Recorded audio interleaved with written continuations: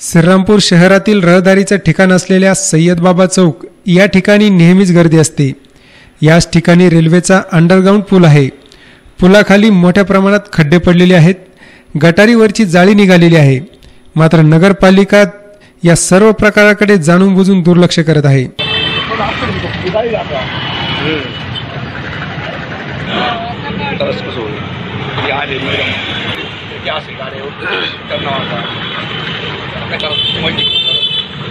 सामाजिक कार्यकर्ते हनीफ पठाण पुलाखालून जात असताना खड्ड्याचा अंदाज न आल्याने त्यांचा अपघात झालाय.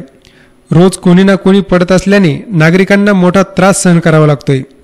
नगरपालिकेने लवकरात लवकर खड्डे बुजवले नाही तर सामाजिक कार्यकर्ते हनीफ पठाण यांनी नगरपालिकेविरुद्ध आंदोलन करणार असल्याचा इशारा दिलाय.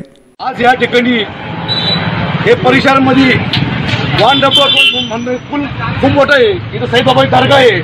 इथं येणार कॉलेजच्या मुली कोंडणी रोड पुलतामा रोड कोपरगाव रोड आणि इकडे मोठे मोठे हॉस्पिटल आहे. इकडे कब्रस्तान आहे. इकडे मोठी कॉलनी झालेली आहे. आणि लोकांना यायला खूप त्रास होतो. आणि गेल्या लोक येताना बघा आता हे लोक येऊ राहिले. येताना हे लोकांना खेड्यामध्ये किती मोठा त्रास होतो. तरी तरी सुद्धा मी नगरपालिकेला आम्ही स्वतः अर्ज दिलं. अर्ज देऊन आठ दिवस झाले. तर आपण हे खड्डा मोजा पाणी आल्यानंतर आम्हाला कळतो. तर माती इथे वाहून जाती. पण आपण कमी कमी मोठे इथं काम करता. तर खड्डा मोजा हे खड्ड्यामध्ये मागे भरपूर लोक पडले. किती चालत त्रास आहे लोकांना?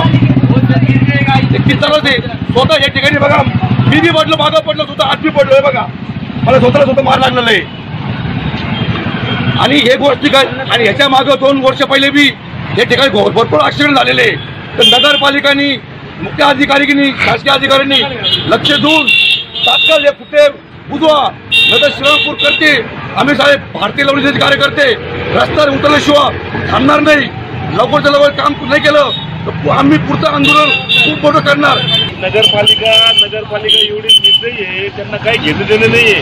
दोन महिला पडल्या मुली पडल्या तिथं पावसा पाण्याचे. तरी हे दखल घेत नाही. उरुसच्या वेळेस अर्ज केलेला नगरपालिकेत तर हो इथं भाविक येतात ये- येणं जाणं पडणं होतं ते काही त्यांना काही घेणं देणं नाही इथलचं.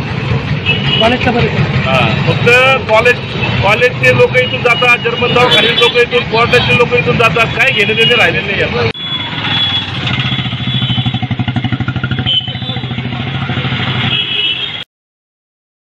अभिषेक सोनवणे माय न्यूज श्रीरामपूर.